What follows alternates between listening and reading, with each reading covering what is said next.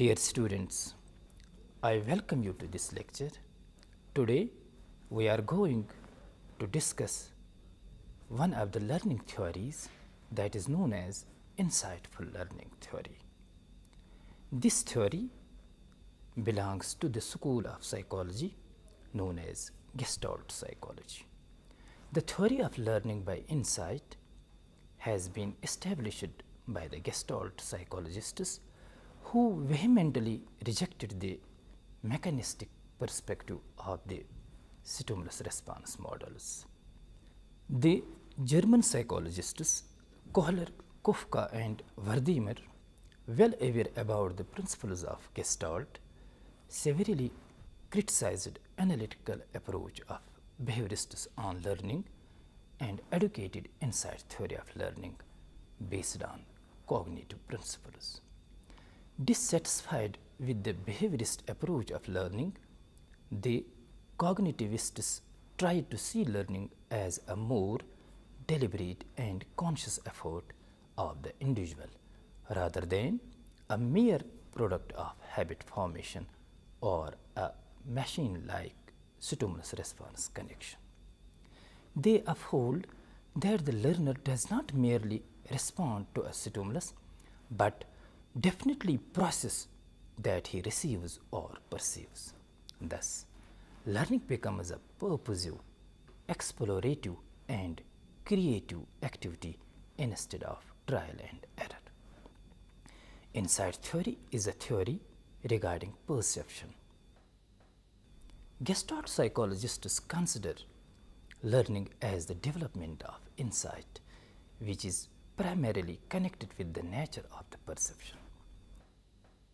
Perception is a process by which an organism interprets and organizes sensation to produce a meaningful experience of the world and typically involves further processing of sensory input.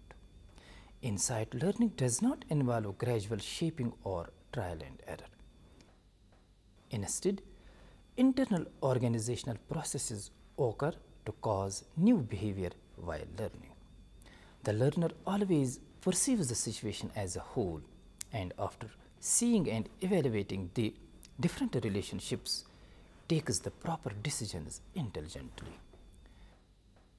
Gestalt psychology focusing on organized wholes used the term insight to describe the perception of the whole situation by the learner and his intelligence in responding to the proper relationships. Insight refers to the sudden flash in the mind about the solution of the problem. This insight learning is a type of learning or problem solving that happens all of a sudden through understanding the relationships of various parts of a problem rather than through trial and error. Insight learning involves the I have found it feeling or eureka or aha moment. This learning approach emphatically views learning as reorganizing of a whole situation in contrast to the behavioral psychology notion that learning consists of association between stimulus and response. Gestalt psychologists argue that the phenomenon such as learning must be treated as a whole. In learning, whole is more than the sum of its parts. Learning comes in certain flashes or insight. Only when the learner puts the parts together in such a way that the complete whole becomes an organized pattern and that exceeds the mere sum or total of those parts. Max Wertheimer wrote, The experiments done by the Gestalt psychologists obviously show how insight or perception of relationships known as cognitive awareness or map between the different elements of a situation and goal get organized together forming a pattern that enables the organism to achieve the goal that is solving the problem. Kohler's experiment showed that animals like humans were able to solve problems by perceiving new objects in new forms and relationships as a mental process rather than a behavioral one such as classical or operant conditioning. It was in 1920s that the German psychologist Wolfgang Kohler designed some simple experiments to study the behavior of chimps and this led to the development of the first cognitive theory of learning called as insight learning. In his experiment, Kohler hung a piece of fruit just out of reach of chimps. He then provided the chimps with either two sticks or three boxes, then waited and watched. Kohler noticed that after the chimps realized that they could not simply reach or jump up to retrieve the fruit, they stopped, had a seat, and thought about how they might solve the problem. Then, after a few moments, the chimps stood up and proceeded to solve the problem. In the first scenario, what happens? The problem was solved by placing the smaller stick into the longer stick to create one very long stick that could be used to knock down the hanging fruit. In the second scenario, the chimps would solve the problem by stacking the boxes on top of each other, which allowed them to climb up to the top of the stack of boxes and reach the fruit. The experiments demonstrated the role of intelligence and perception in learning. Cognitive abilities help the organism to survey the situation, establish relationships between its different parts. The learner views the situation as a whole, develops the relationship between the different segments of a problematic situation, and organizes his experiences in the form of a meaningful whole. In place of purely mechanical or instrumental approach, insight learning theory does emphasize the role of purpose, understanding, reasoning, etc. in the process of learning. Learning is interpreted as a purposive, exploratory, and creative enterprise, not a mechanical one. Now, dear students, let us see what happens during the process of insightful learning. Let us go through the stages that constitute it. First, it is need. Nobody can deny the fact that need to learn becomes a necessary ingredient for any type of learning. And insight learning is no exception. This need may be either biological, like hunger, thirst, or it may be social, like gregariousness, or even personal, like the desire for power, prestige, and recognition. Now, there is a stage of preparation. At this very stage, the learner recognizes the presence of an intervening obstacle on his way to the goal. The learner observes the problematic situation, analyzes it, and perceives the relationship between the goal and the obstacle. The learner makes various surveys, inspections, and minute examination of the problem and its fate. Then comes the stage of incubation. It refers to the stage of clearance or dormant period when all overt activities are suspended. It is a period of no progress when the organism silently thinks over the problem. After analyzing the total situation, the learner reaches in conclusion by means of hesitation, pause, concentrated attention, etc.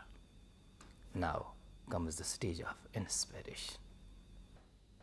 In this very stage, the idea of the problem comes suddenly. In a certain moment, there is a sudden perception of the relationship in the total situation and the organism directly performs the required act.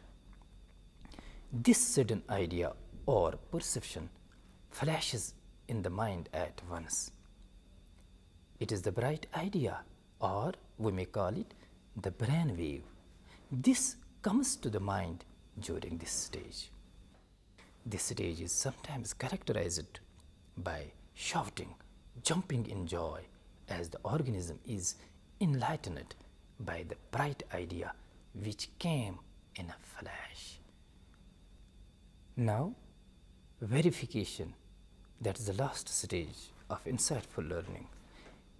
It is this stage of insightful learning in which the organism makes practical application of his bright new idea. The learner directly prepares the required act. It is the stage where the learner reaches the ability to understand the relevant parts of the situation and overlooking the irrelevant ones. In case of Sultan, the chimpanzee, it joined both the sticks, placed the boxes one after the other, and got upon the third box and brought the bunch of banana hanging on the roof. Dear students, now let us go through the laws of insightful learning that govern it. First, it is the law of proximity. The law of proximity states that objects which are close together are likely to be seen as a group. Terming it differently, this law states that stimulus elements that are close together tend to be perceived as belonging together. Now, there is law of similarity. The principle of nearness doesn't hold for all stimulus constellations. In some situations, other factors operate to override the influence. The law of similarity states that when there are different sets of objects on view, then they are perceived as groups rather than individual objects. This law leads us to link together parts of the visual field that are similar in color, brightness, texture, shape or any other quality. In the figure, you just see each black square is closer to a circle than it is to another black square. Yet the black squares are perceived as being grouped with other black squares instead of the circles which are closer to them. This perceptual phenomenon illustrates the principle of similarity. The greater the similarity among stimuli, the more likely it is that they will be perceived as part of a common group. Now, there comes the law of closure. According to the law of closure, things are grouped together if they seem to complete some entity. Our brains often ignore contradictory information and fill in gaps in information. According to this law, we prefer complete forms to incomplete forms. Thus, perception of objects is more complete than the sensory stimulation we receive from them. Perceptual processes tend to organize the world by filling in gaps so that we perceive a whole subject, not disjointed parts. This filling in is called as closure or tendency to complete in perception, what is physically an incomplete pattern or object. This principle has been referred to as the Pragnanz theory in perception, indicating fullness, wholeness and completeness. Look at the figure. The figure shows that viewers tend to supply missing elements to close or complete a familiar figure, even though the figure is actually not there in its totality. when the outline of an object is left unfinished as long as the gap is less than half the total circumference then the object is identified and perceived as whole rather than a different shape. Thus, in the drawing above, we mentally close the gaps and perceive it as IBM. This tendency allows us to perceive the whole objects from incomplete and imperfect forms. Law of continuity. This is also known as common direction or common fate. The elements of a stimulus having common direction are grouped together and perceived as a separate object from those that have a different direction. This refers to a tendency in which the objects that appear to form a continuous pattern are perceived as belonging together. For example, in the figure that you are seeing, lines AB and CD are perceived crossing each other rather than identified as four lines A, B, C and D meeting at point P. This is because of the continuity factor. Now, law of Pragnanz. The law of Pragnanz is sometimes referred to as the law of good figure or the law of simplicity or symmetry. This law holds that objects in the environment are seen in a way that makes them appear as simple as possible.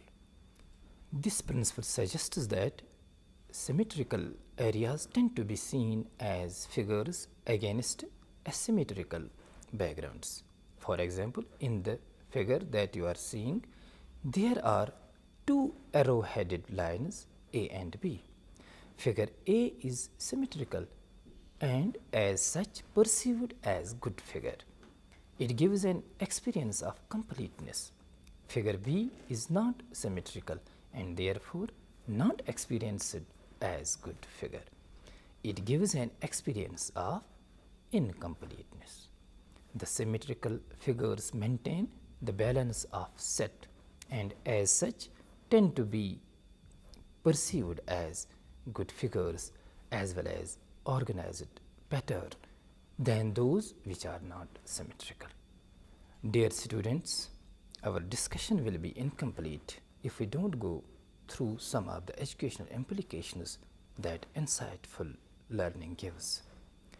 Insightful learning puts emphasis on making learning task purposeful and goal oriented. Owing to this approach, learning does not involve simple reflexive or automatic machine like responses. Contiguity of mental elements in time and space does not in itself guarantee their association. A sort of mental energy is required to produce association and recall. Gestalt psychologists do call it a need or an interest. This idea has focused on the importance of motivation in learning. The learner needs to be motivated by arousing his interest and curiosity for the learning process and again needs to be well acquainted with the objectives of the learning. Purpose or goals of learning should be made clear to students. The teacher's most important responsibility is to help the learner to find worthwhile goals which may be clear and realistic. In the organization of the syllabus and planning of the curriculum, the Gestalt principles should be given due consideration.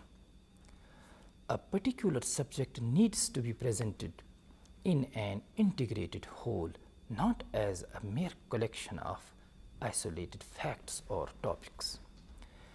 In the same way, the whole curriculum comprising of different subjects and activities should reflect unity and cohesiveness. Terming it differently, The learning material should be presented in the form of a gestalt, that is, a whole. According to this theory, whole is not summation of parts. The teacher should present the picture of whole subject matter in the class first and then he should come to its parts. This highlights the important maxim from the whole to the parts in the field of learning. If a teacher wishes his students to learn or memorize a poem, it should be presented to him as a whole and after being read and understood as a whole, it may be broken into parts or sentences for being effectively memorized. Similarly, a problem requiring solution should be considered as a whole and after being assessed as a whole may be tackled for solution on a piecemeal basis. According to Bruner, the teacher should study the learner's reactions in order to determine the methods, order of presentation that will prove most helpful. Spoon feeding and cramming should be discouraged. The teacher should encourage the students to reach the material to develop insight. The greater contribution of the insight theory of learning is that it has made learning an intelligent task requiring mental abilities instead of blind fumbling and automatic responses to specific stimuli. It has criticized strongly the mechanical memorization, drill and practice work which lack in basic understanding and use of thinking, reasoning and creative mental powers. This theory helps the learner to develop reasoning, thinking and imagination powers and thus their creative potentials are encouraged. This theory has proved helpful in adapting problem solving approach in the class. As mentioned earlier, the structure and systematic organization of subject matter plays an important role in learning. The teacher should study the learner's reaction every time in order to see whether the material is organized systematically or not. Small children are better able to perceive essential relations when they are given concrete material. They show limited capacity to manipulate and draw conclusions about objects or events they are not directly presented before them. At a higher level of intellectual development, students free themselves from their dependence on concrete materials and can think, perceive and see relationships when presented with abstract materials. Dear students, let us conclude it here by putting an emphasis on the fact that insight learning is the abrupt realization of the solution of a problem. Neither is it the result of trial and error, responding to an environmental stimuli, nor the result of observing someone else attempting the problem. It is a completely cognitive experience that requires the ability to visualize the problem and the solution internally. This experience is a sudden perception of relationships between the elements of a situation and goal. Dear students, this was all about today's lecture. Thank you.